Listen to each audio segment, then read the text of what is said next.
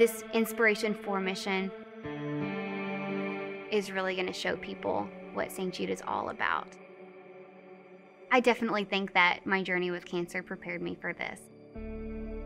Cancer made me who I am. But not just cancer, St. Jude. I know the money raised and the awareness raised from this mission is going to change lives. It means so much to me, both as a former patient and now employee, to know that we're going to be able to help so many more kids because of this mission. While we're the first all civilian mission to space, we will not be the last.